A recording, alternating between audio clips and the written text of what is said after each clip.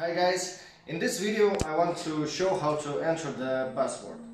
Uh, there are some uh, things that you should know about.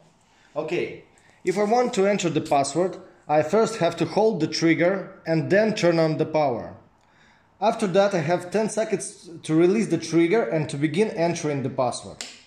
Okay, I can enter any digit uh, pressing the throttle as quick as I like, so I can uh, just click it as fast as I want.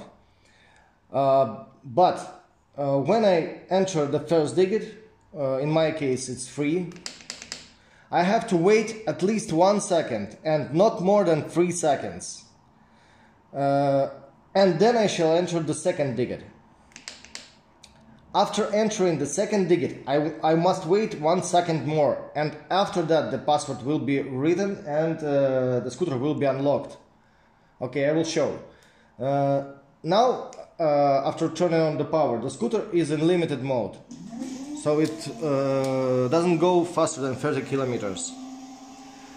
Okay, I turn off the power. I hold the trigger. I turn on the power. I release the trigger, enter first digit, wait, enter second, wait, and there it goes. That's all. Thank you.